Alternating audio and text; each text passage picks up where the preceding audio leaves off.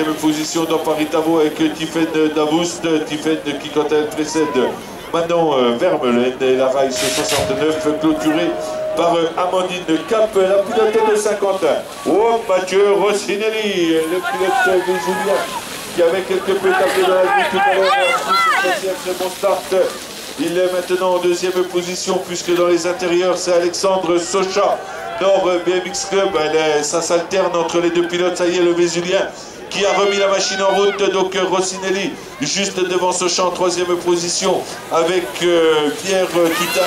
Quatre autres se sont détachés en vue de la qualif. Euh, le quatrième, eh c'est Erwan Letu, le pilote de, BMX Sucy 94.